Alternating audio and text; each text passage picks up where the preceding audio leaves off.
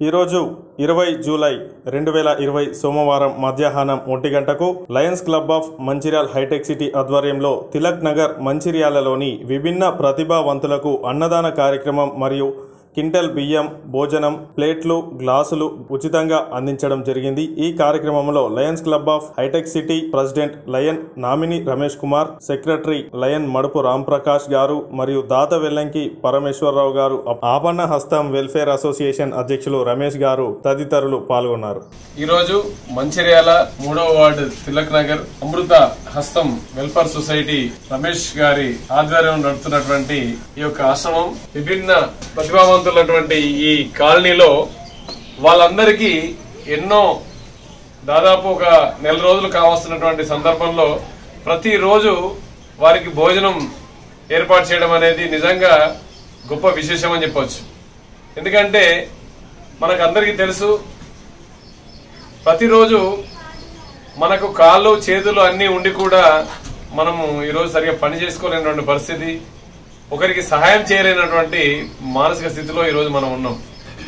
అయితే ఇటువంటి ఆశ్రమంలో ఆయనకు సరిగా కాళ్ళు నడవరాని పరిస్థితిలో ఉన్నప్పటికీ అతను ఒక చిన్న సైకిల్ మీద అందరినీ గ్యాదర్ చేసి వారందరికీ కూడా ఈరోజు ప్రతిరోజు కూడా మధ్యాహ్నం టైంలో వారందరికీ భోజనం ఏర్పాటు చేయడం అనేది ఈ సందర్భంగా అతన్ని అభినందించక తప్పదు. దీనికి అందరికి మనం క్లాస్ కొట్టాము చాలా గ్రేట్ పర్సన్. నాకు దాదాపు నేను వెలుగు ఫౌండేషన్ పెట్టిన దగ్గర నుండి ఆయన నాకు సుపరిచితులు. వెలుగు ఫౌండేషన్ పెట్టిన తర్వాత మా ఫంక్షన్ హాల్ అంటే ఫంక్షన్ హాల్లో మేము భోజనాన్ని సేకరించేటువంటి సందర్భంలో ఆయన మానసిక వికలాంగుల ఆశ్రమంలో అతను ఇన్ఛార్జిగా ఉన్న సందర్భంలో ప్రతిరోజు ఎక్కడ మాకు భోజనం మిగిలినా తీసుకొచ్చేసి వారి ఆశ్రమంలో మేము అందించడం జరిగేది. సో అప్పటి నుంచి ఈ రోజు వరకు ఆయన మంచితనము ఆయన మాట్లాడే విధానమే కావచ్చు ఆయన ప్రేమతత్వం కావచ్చు ఆయన మాట్లాడే విధానంలో ప్రతి ఒక్కటి కూడా ఒక మంచి భావనతోటి మంచి సేవభావంతో ఆయన ఉన్నటువంటి ఆలోచన మొత్తం నిండిపోయినటువంటి వ్యక్తి. సో ఆ- యొక్క మా ఇద్దరి మధ్యలో ఉన్నటువంటి ఆ- ఆ భావంతో ఈ రోజు కూడా అతనితో మేము ప్రయాణిస్తున్నాం. ఇక ముందు కూడా మేము ప్రయాణించడానికి సిద్ధంగా ఉన్నాం. ఇది వాస్తవం. అయితే ఆ మధ్య కాలంలో కూడా కోవిడ్ ఉన్నటువంటి లాక్డౌన్ టైంలో కూడా అందరూ ఎక్కడ ఇళ్ళలో ఉన్నప్పటికీ కూడా తను కూడా వచ్చేసి బయటకు వచ్చి ఎంతో మందికి అన్నం అందించడం పరిస్థితులు నేను చూశాను కల్లారా సో ఈ రోజులో మనం ఇళ్ళలో అందరం ఎక్కడ సేఫ్ సైడ్గా మనం అందరం మనం బ్రతకాలని చెప్పేసి మనం ఉంటే ఆకలికి అన్నం దొరకక హోటల్ లాంటి బంద్ ఉన్నటువంటి క్రమంలో అతనే స్వయంగా వెళ్ళి వంట చేపించి తీసుకెళ్ళి పంచినటువంటి సందర్భం. సో అందుకే అటువంటి వ్యక్తి అన్నా అటువంటి పనులు చేసే వాళ్ళన్నా నాకు ఎనలేని ప్రేమ అభిమానాలు ఉంటాయి. ఎందుకంటే ఈరోజు నేను కూడా ఈరోజు నా యొక్క షాపును పక్కన పెట్టి కంప్లీట్ సేవే మార్గం చేయుతే మా లక్ష్యం మానవ సేవే మాధవ సేవ అనే ఒక నిదానంతో ఆ యొక్క సంకల్పం మీదనే మేము ఈరోజు ఈ యొక్క వెలుగు ఫౌండేషన్ స్థాపించి ఎన్నో ఎన్నో మరెన్నో కార్యక్రమాలు చేస్తూనే ఉన్నాం ప్రతిరోజు. ఉదయం లేస్తే సేవ రాత్రి పడుకుంటే కూడా కళ్ళలో కూడా సేవనే. అంటే ఎక్కడ సేవ మనకు అవసరం ఉన్నది ఎక్కడ మనకు నీడ్ అవసరం ఉన్నది అని చెప్పేసి ఆలోచించేటువంటి ఒక క్రమం. ఇటువంటి ఆలోచన క్రమంలోనే ఆయన ఎప్పుడు ఫోన్ చేసినా ఎక్కడ ఈ ప్రాబ్లం ఉన్నా గానీ మేము అతనికి సహకరిస్తూ మేము చేస్తున్నటువంటి సందర్భం. తర్వాత ఈ మధ్యకాలం లైన్స్ లయన్స్ క్లబ్లో కూడా మేము చేరి లయన్స్ క్లబ్ ద్వారా కూడా ఎన్నో కార్యక్రమాలు ఇక్కడ ఇదే అమృత హస్తం అనే ఈ సొసైటీలో కూడా మేము ఎన్నో కార్యక్రమాలు చేయడం జరిగింది. ఈ రోజు కూడా మేము ఒక ఒక మంచి కార్యాన్ని నిర్వహిస్తున్నాం. మన లయన్స్ క్లబ్ ఆధ్వర్యంలో అలాగే మా ప్రెసిడెంట్ గారు రమేష్ గారు అండ్ నేను మా ఇద్దరి నేతృత్వంలో జరుగుతున్నటువంటి కార్యక్రమంలో ఈరోజు మా దాదాపు నాకు నేను మంచిర్యాలకు వచ్చిన కొత్తల దానికంటే ముందు కూడా మంచిర్యాలకు వచ్చిన తర్వాత దగ్గర నేను పదహారు పదిహేడు సంవత్సరాలు దగ్గర ఇరవై సంవత్సరాల నుంచి పరమేశ్వర గారు మాకు పరిచయం. ఇదే ఇక్కడ అమ్మలవాడి దగ్గర గేట్ దగ్గర వారి ఇల్లు.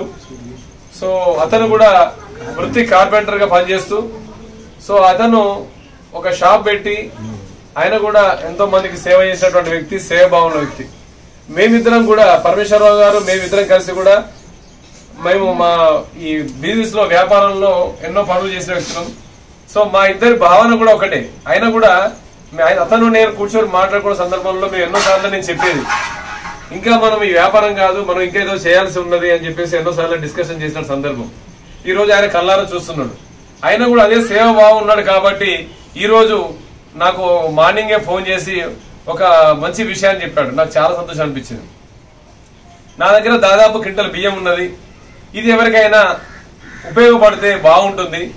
ఈ రైస్ అనేది మనకి ఎవరికైనా మన వాళ్ళంటే తప్పనిసరి అన్నాను అలాగే నా దగ్గర ఒక డజన్ గ్లాసులు ప్లేట్స్ కూడా ఉన్నాయి. మరి ఆ ప్లేట్స్ అవి కూడా అందిద్దాము అని చెప్పిండు.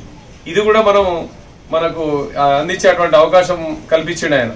సో అది మన తిలక్ నగర్లోనే ఒక వెల్ఫేర్ అసోసియేషన్ మన అమృత వెల్ఫేర్ అసోసియేషన్ దాంట్లో వాళ్ళకి ఇస్తే బాగుంటుంది. వాళ్ళంతా చాలా పరిస్థితి చాలా ఇబ్బందిగా ఉన్నాడు. ఆయన వన్ మంత్ స్టార్ట్ చేసింది. సో అతను ఎంత సేవభావంతో వీళ్ళందరికీ మనందరం ఇక్కడ ఉన్నాం కానీ అతను వాళ్ళందరికీ ప్రతిరోజు అన్నం పెట్టాలని తాపత్రయంతో ఎంతో కష్టపడుతున్నాడు. అక్కడైతే సరైన నీడు ఉంటుందన్న ఒక సంకల్పంతో వెంటనే ఆయన చెప్తే నీకు నాకేం తెలియదు నువ్వు ఎక్కడ చెప్తే అక్కడ నేను ఇస్తాను నాకు అభ్యంతరం ఏం లేదని చెప్పాడు. ఈ సందర్భంగా అంత మంచి మనసు ఉన్నటువంటి మన పరమేశ్వరరావు గారికి ఈ సందర్భంగా మనం అందరం కూడా అతనికి ఆహ్వానిస్తూ ఆహ్వానిస్తున్నాం ఎందుకంటే ఈ రోజుల్లో సేవ చేయాలనే భావం చాలా తక్కువ. ఇంత ముప్పై మూడు కోట్ల జనాభాలో మన భారతదేశంలో సేవ చేసే వాళ్ళ అనే వాళ్ళు చాలా చాలా తక్కువ మంది ఉన్నారు. నిజం చెప్పాలంటే. ఎంతో మంది ఈరోజు ఈ సమాజంలో మన భారతదేశంలో ప్రతిరోజు ఆకలి చావులే ఐదు వేల ఐదు వందల మంది చనిపోతున్నారు. ఇదే మన భారతదేశంలో ఐదు లక్షల యాభై ఐదు వేల టన్నుల ఆహారం మన ఫంక్షన్ హాల్లో వృధా అయిపోయింది. సో వీటిని గమనించే నేను ఫౌండేషన్ పెట్టడం జరిగింది. ఇటువంటి ఎంతో మంది ఆకలి తీర్చడానికి ఈ రోజు మన పరమేశ్వరరావు గారు ముందొచ్చినందుకు వారికి కూడా మా వెలుగు ఫౌండేషన్ మరియు లైఫ్ క్లబ్ తరఫున మేము ప్రత్యేక ధన్యవాదాలు తెలుపుతున్నాము అటువంటి గొప్ప వ్యక్తికి ఇంకా మంచి మంచి సేవలు ఆయన మనసులో ఉన్నాయి. అది కూడా ఫ్యూచర్లో చేయాలని చెప్పేసి మేము కోరుకుంటున్నాం. వాటిలో ఇక్కడ ఒక పూర్ గుడిసెలో మీరు చూస్తున్నారు. చాలా పూర్ ఫ్యామిలీ చాలా ఇబ్బందులు ఉన్నటువంటి పరిస్థితిలో మాకు ఇక్కడ మా మిత్రుడు మహమ్మద్ సలీం భాయ్ మాకు ఫోన్ చేశారు. సో ఇక్కడ ఒకరు చాలా ఇబ్బందిలో ఉన్నారు. సో మీ యొక్క ఫౌండేషన్ తరఫున మీ యొక్క మీ క్లబ్ తరపున మాకు ఏమైనా హెల్ప్ చేస్తే బాగుంటుంది అన్నారు. మేము వెంటనే స్పందించి ఈరోజు ఇక్కడ రావడం జరిగింది. రజిత ఈ రజిత అనే అమ్మ పాపం ఒక ఈ యొక్క చిన్న రూమ్లోనే వాళ్ళ జీవనం గడుపుతున్నారు. సో వాళ్ళకు కూడా రోజు రోజు పూటకు తినడానికి ఇబ్బంది ఉన్నటువంటి పరిస్థితుల్లో మాకు ఆ మిత్రుడు ఫోన్ చేయగానే మేము ఈరోజు స్పందించి ఇక్కడ రావడం జరిగింది. దీనికి ముఖ్యంగా మా దాత పరమేశ్వరరావు గారు ఆయన చాలా గొప్ప మనసుతోటి మాకు విషయం చెప్పగానే ముందుకు వచ్చేసి వాళ్ళకు సహాయం చేయడానికి ఈరోజు మనకు ఒక ఇరవై కిలోల రైస్ను ఈరోజు అందించడం జరుగుతుంది. సో ఈ సందర్భంగా మా పరమేశ్వర గారికి మా తరఫున కృతజ్ఞతలు చెప్పుకున్నాం